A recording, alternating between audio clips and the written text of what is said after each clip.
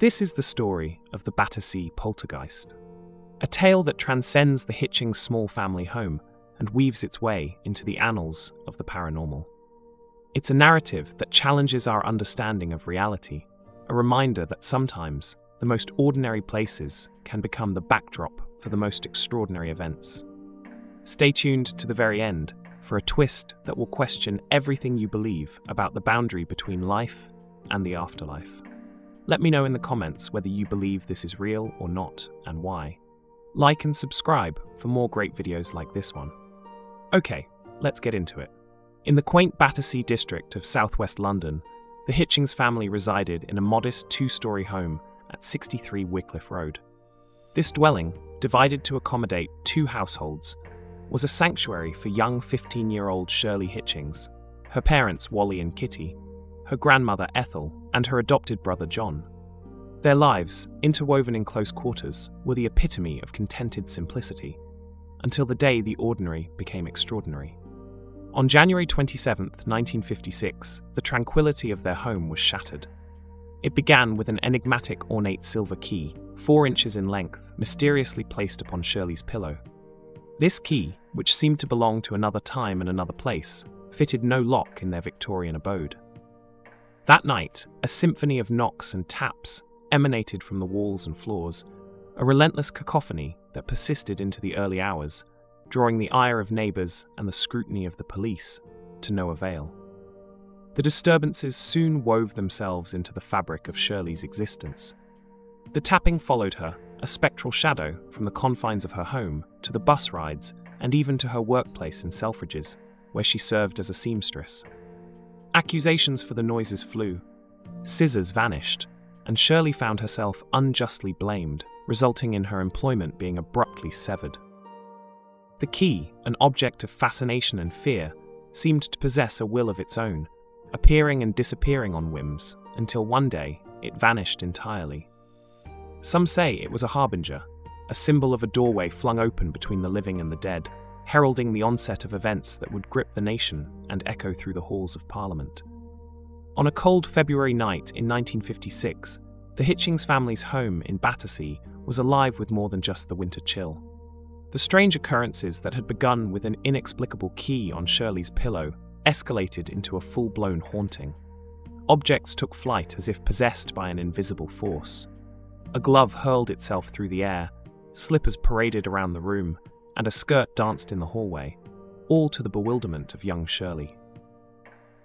The family's living room, their sanctuary with the prized television set, a luxury at the time, became a stage for the unexplained.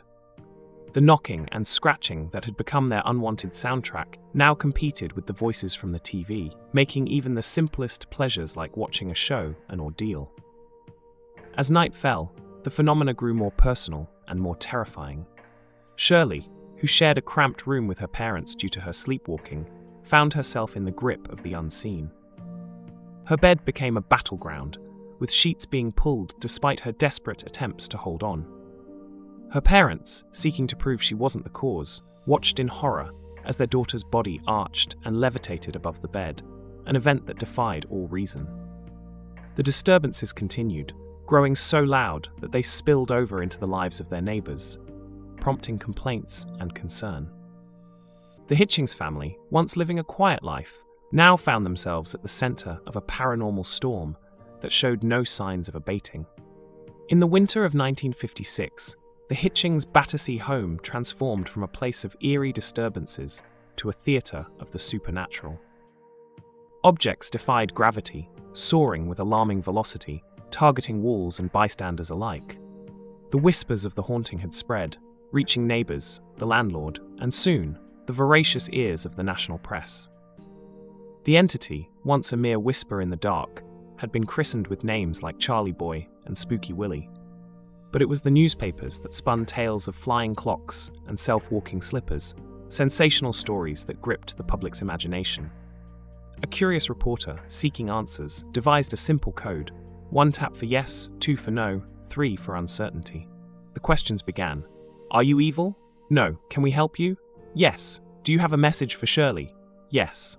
But the message's delivery was shrouded in mystery, promised for a Sunday that held breaths in suspense. the spirit's identity danced between the visage of Shirley's deceased grandmother and a young boy named Donald, a childhood playmate. The narrative twisted and turned, with reporters weaving tales of a tragic overseas death that proved false.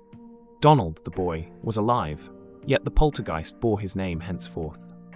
The tale took a cruel turn as fabricated romances bloomed in print, a stark contrast to Shirley's denials.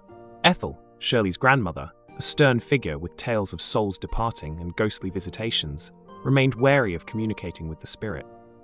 On the 21st of February in 1956, the tale of Shirley Hitchings and her ethereal housemate Donald had not only captivated the press, but also piqued the interest of the BBC. An interview was swiftly arranged, beckoning Shirley to recount her story under the glaring studio lights. Exhaustion clung to her, a byproduct of a night filled with Donald's promised antics. Shirley had inquired if the poltergeist would grant them a night of peace, only to be met with a resounding denial, echoed through a series of emphatic knocks. As darkness enveloped their Battersea home, the nocturnal symphony commenced. The knocks crescendoed, a glove took flight with a mind of its own, and bed sheets were stripped away in a ghostly tug of war. Even Ethel, Shirley's grandmother, wasn't spared, as her room became a stage for the inexplicable. Yet, Shirley braved the spotlight, sharing her harrowing experiences on the show highlights. But Donald, perhaps shy of the public eye, remained silent, a stark contrast to his usual boisterous self. This attempt by the BBC to contact the poltergeist on primetime TV was even spoken about by the Home Secretary in the House of Commons in Westminster. The Hitchings residence at 63 Wycliffe Road had transformed from a family home into a national spectacle. Curiosity drove throngs of spectators to breach the boundaries of their garden, seeking a brush with the supernatural. The family's patience wore thin, their privacy invaded, their longing for normality growing ever more desperate. In the midst of this frenzy, Harry Hanks, a family friend and spiritualist, stepped forward, attempting to bridge the gap between worlds. Wally, initially hesitant, consented as the haunting intensified. The era was ripe with fascination for the otherworldly, and the Ouija board, though controversial, was a popular medium. Yet, Wally and Kitty staunchly opposed its use within their walls. Instead, Hanks employed a simpler method, laying out letters and relying on Donald's knocks to spell out messages. Despite Donald's questionable literacy, his attempts at communication mostly found their mark, painting a clearer picture of the unseen presence that had so thoroughly upended their lives. In the dim light of Harry Hanks's Stockwell abode, a circle formed on the 22nd of February 1956 with Shirley Hitchings at its heart. The air was thick with anticipation as Hanks, his family, and a clairvoyant joined hands, ready to confront the entity known as Donald. The press, ever hungry for a story, watched with bated breath, their cameras poised. Hanks, persuasive and determined, had convinced Shirley's reluctant parents to agree to this seance, a ritual he claimed would rid them of the poltergeist once and for all. As Hanks slipped into a trance, his features contorting in the dimness, a sudden commotion erupted. A loud banging, a sound not from the beyond, but from the very real presence of the police at the door, alerted to possible black magic within these walls. The officers, skeptical yet dutiful, surveyed the scene, eventually satisfied that no laws were being broken. With their departure, Hanks resumed, his body shaking, his voice booming with the authority of his spirit guide. He declared victory, Donald was gone, the exorcism a success. A calm settled over the room, a fleeting peace that suggested the end of their ordeal. But the respite was short lived. The next day, two reporters arrived, claiming John, Shirley's brother, had granted them an interview with his sister. John, however, knew nothing of this. The reporters, bearing sweets and fizzy drinks, lured Shirley away, a disturbing manipulation of a young girl's trust. During the interview, the familiar tapping and knocking manifested, seemingly emanating from Shirley herself. Skepticism arose. The reporters pinpointed the source to Shirley's foot. Upon removing her boot, the noises ceased.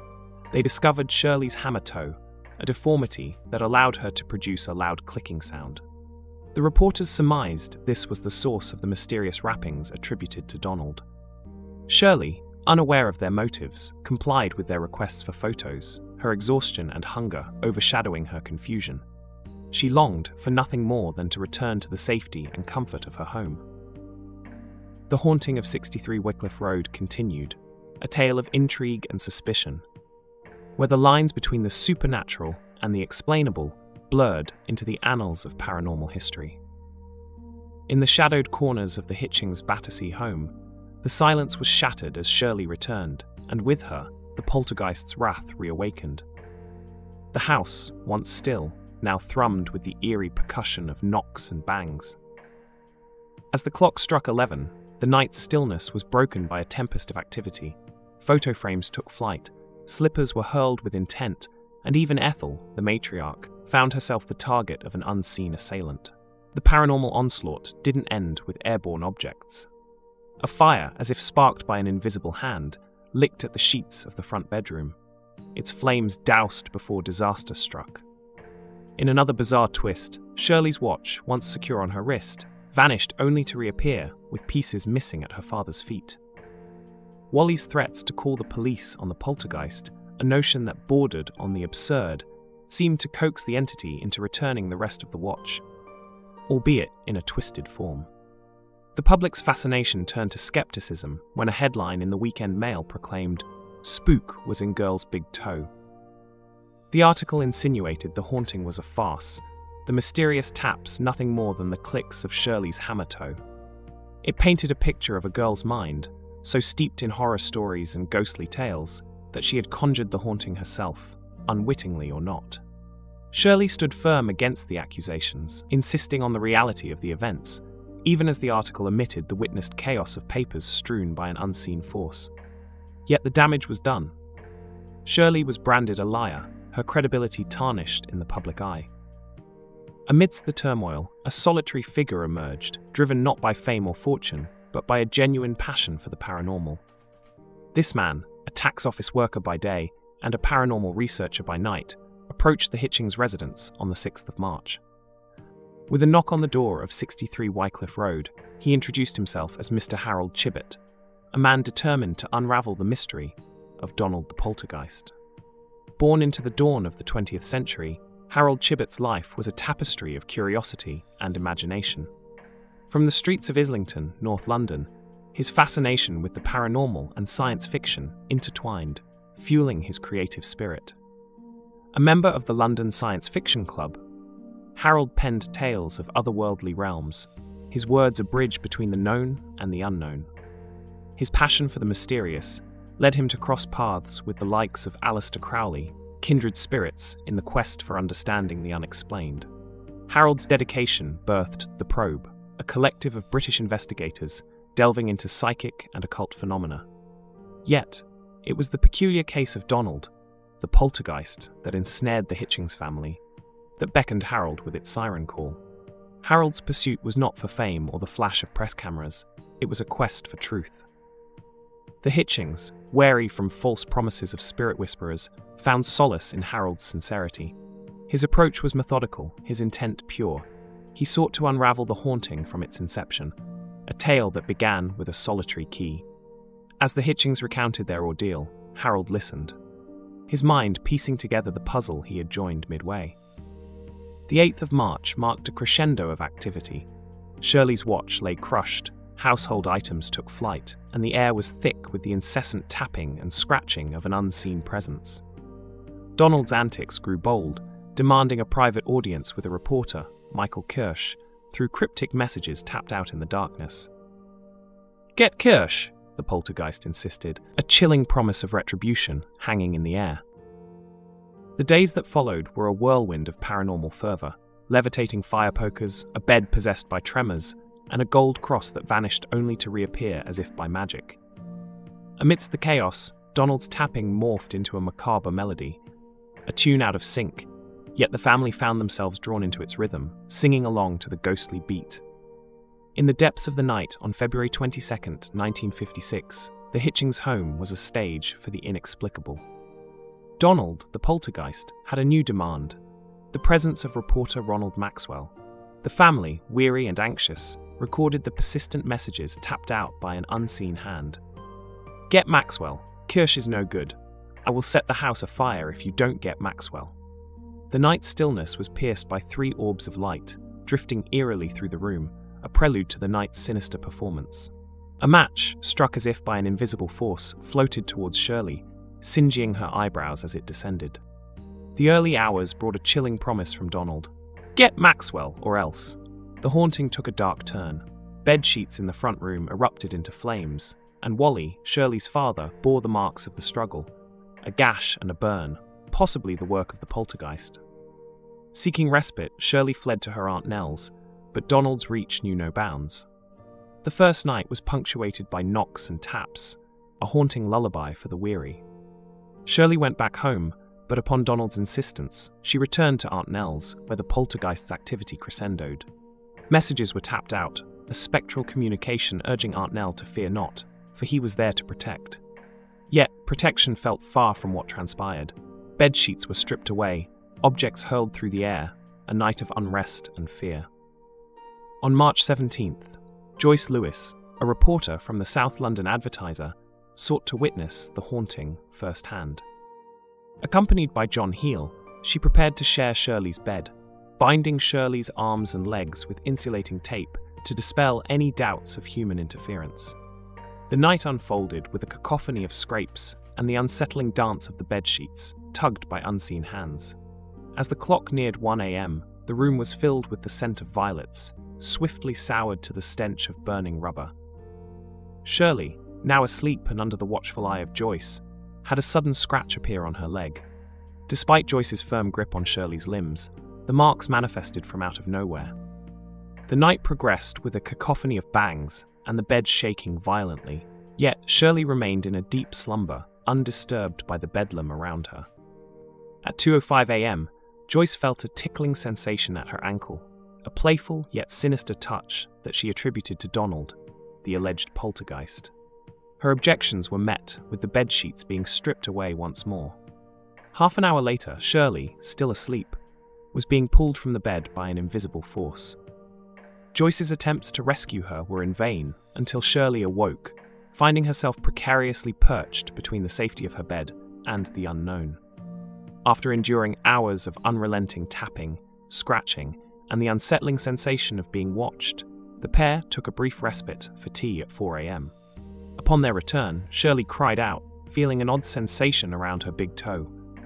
To their horror, they discovered a string tied tightly around it a string that seemed to appear out of nowhere, a mocking gesture from the entity they called Donald.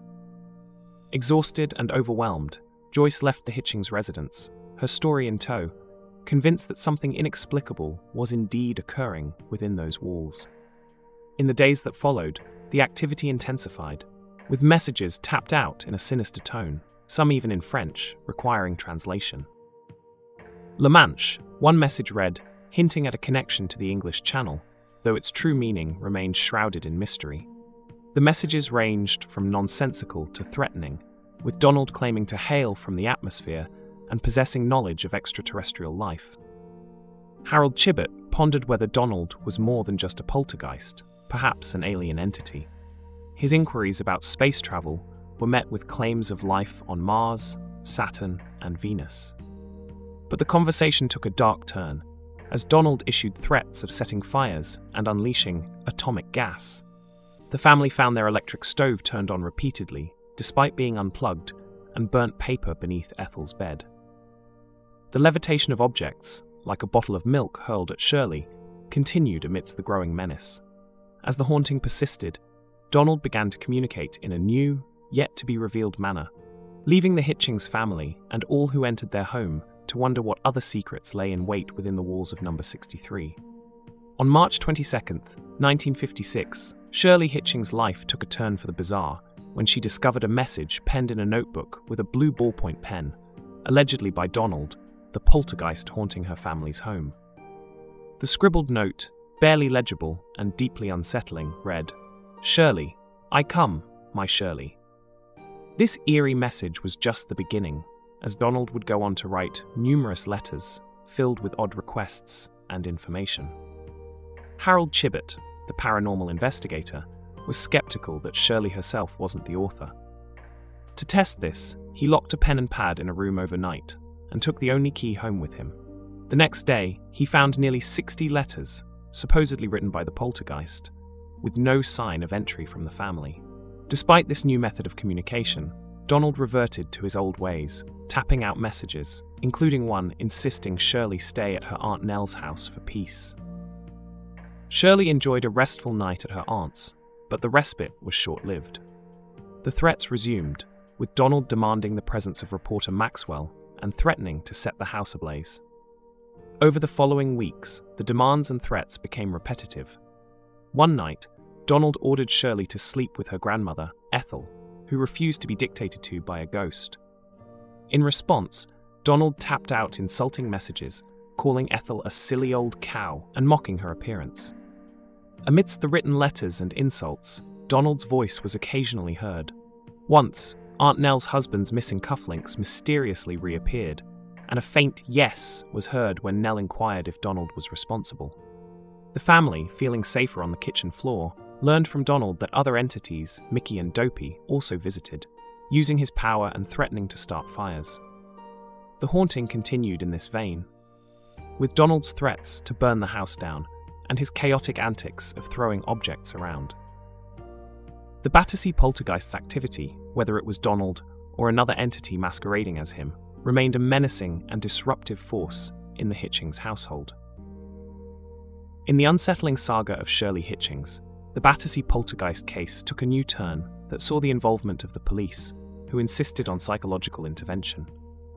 Shirley, resistant to both the medication prescribed and the idea of being taken into care, found herself at the centre of a bizarre incident where her medication was discovered dissolved in water, a phenomenon she attributed to Donald, the poltergeist. Harold Chibbett and his methodical investigations became a fixture in the Hitchings home, his visits bringing a semblance of order to the chaos. He proposed communication with the spirit as a solution, yet he remained vigilant against being deceived by human orchestrations of the events. Donald's antics escalated, with persistent demands for specific reporters to visit, promising to unveil his true identity upon their arrival. His fixation on reuniting Shirley with a childhood friend, coupled with messages in French, hinted at a past shrouded in mystery. Claims of French origins, a drowning in the English Channel, and references to dauphin, a term associated with French royalty, led Chibbett to speculate wildly about Donald's identity. Despite these revelations, Donald's credibility was questionable, especially when he professed to speak Martian. The haunting continued with its familiar pattern threats of arson, objects hurled through the air, and Shirley's grandmother, Ethel, pushed to her limits by the constant disturbances and a chilling encounter with what she believed was her deceased mother's voice. Sadly, shortly after this event, Ethel had a stroke and died in hospital. But her departure from the home did little to appease the entity. Donald's rage manifested in more aggressive behaviour, tipping paint onto Shirley and intensifying the threats. Amidst the turmoil, Donald deflected blame, suggesting the emergence of a new, malevolent presence. The mystery of the Battersea poltergeist, with its blend of the mundane and the otherworldly, remained as perplexing as ever. Connecting the French messages, Harold believed that the poltergeist might actually be the lost French prince, Louis XVII, who supposedly perished in prison during the tumultuous times of the French Revolution. When asked, Donald confirmed this to be the case. However, Donald's presence was marked by a series of inexplicable events and cryptic communications. His claims were a patchwork of historical facts and glaring inaccuracies. He once stated he was born in 1798, which contradicted the timeline of Louis XVII's demise in 1795. Donald even connected himself to the theatre, naming actors from the era, which seemed like a significant breakthrough until a TV guide was discovered listing those very names. This raised suspicions that the information could have been easily acquired by Shirley. The haunting persisted relentlessly throughout 1956, a year filled with constant paranormal activity. The following year, while still eventful, saw periods where the disturbances ceased for months. Yet, there was no denying Donald's presence. Shirley's life was deeply affected by the haunting. Her attempts to bring boyfriends home were often thwarted as Donald's antics scared them away. She felt that the poltergeist had robbed her of her teenage years. However, in 1964, Shirley met Derek and they moved to the south coast. Donald, surprisingly, chose to remain at the old house. Despite the distance, Donald continued to send messages, keeping Shirley informed about her family's affairs. The last communication from Donald came in 1968, a simple note stating his departure I go. With that, the haunting ceased as mysteriously as it had begun. In an unexpected twist, Shirley's mother, Kitty, found herself missing the spectral presence. For 12 years, Donald had been an integral part of their lives, and his absence left a void that was felt deeply, despite the relief of the rest of the family. In the 1980s, a decade after the strange occurrences that had once filled her life with eerie wonder, Shirley found herself at a craft fair. Amidst the hum of the crowd and the display of handmade treasures, a medium approached her with a message that would send a chill down her spine. The medium described a spirit that lingered around Shirley, a young boy dressed in a blue suit, his hair a fiery shade of red. This spectral child had a message for her, a simple yet heartfelt apology for all the trouble he had caused in her life. Shirley was stunned. The description brought back a flood of memories, particularly of a time when Harold Chibbett had been in France.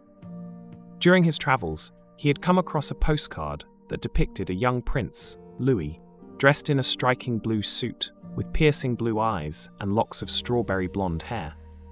Harold had sent this postcard to Shirley, and now, years later, the medium's words seemed to connect the dots of a mystery that had long been left unsolved.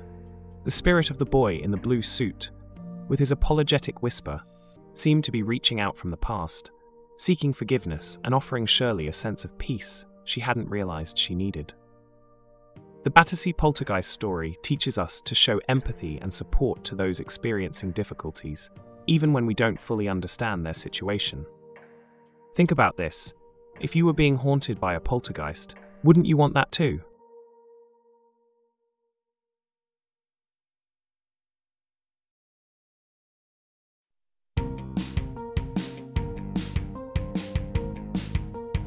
Hi, I'm Simon.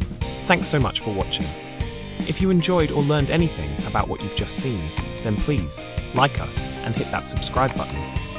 We're just getting started, so you'd be doing us a huge favour. It really helps out a small channel like this one. I hope we earned your subscription today, but if we didn't, I promise we'll keep making great videos until we do. Join us next time when together we'll once again enter the darkness.